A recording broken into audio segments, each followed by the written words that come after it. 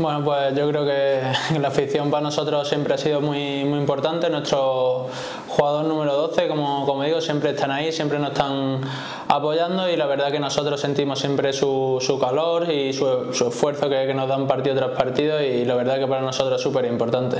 Sí, sabemos que nosotros en Mendy pues somos bastante fuertes, sabemos que, que, es difícil ganarnos en nuestra casa, incluso estamos demostrando también que, que fuera de casa también somos un equipo muy competitivo, que estamos poniendo las cosas difíciles a, a todos los equipos y yo creo que nuestra mayor fortaleza pues como, como te digo es nuestro, nuestro estadio.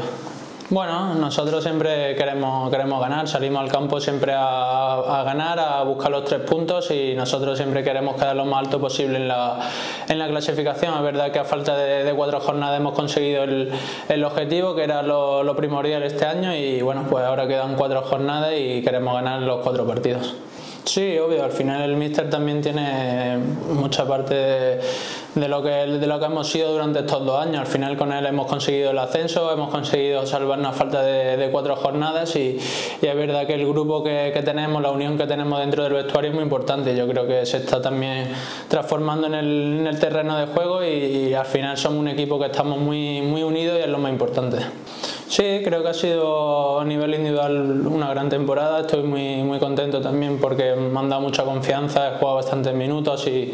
y bueno, espero también habérselo devuelto tanto al cuerpo técnico como, como al club y yo creo que, que, ha sido una gran temporada individualmente y estoy muy, muy contento. Bueno, al final siempre lo digo, tengo que, que agradecerle todo porque al final el club que me ha hecho crecer a nivel personal, a nivel también futbolístico y al final solo tengo siempre palabras de, de agradecimiento y al final pues es un partido bonito en un escenario bonito que todo jugador quiere siempre jugar y al final son recuerdos muy, muy bonitos los que tengo.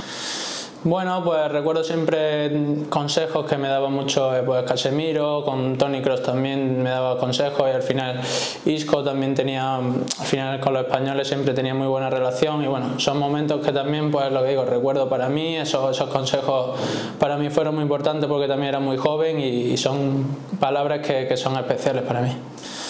Bueno, al final describir al Real Madrid es complicado porque sabemos que es un, un club que, siempre da el máximo en cada partido, que, que luchan siempre hasta, hasta, el final, da igual cómo, cómo haya el partido, que siempre pueden darle la vuelta al resultado y sabemos que es un partido muy complicado, pero nosotros vamos a afrontarlo con, con mucha ilusión y con muchas ganas. Bueno, pues espero eso, seguir creciendo como futbolista, aún tengo mucha carrera por delante, espero seguir formándome, seguir creciendo y yo creo que, al final estoy aquí muy, muy contento, estoy muy feliz y bueno, espero también poder devolverle esa, esa confianza, esa alegría que, que el club me ha transmitido.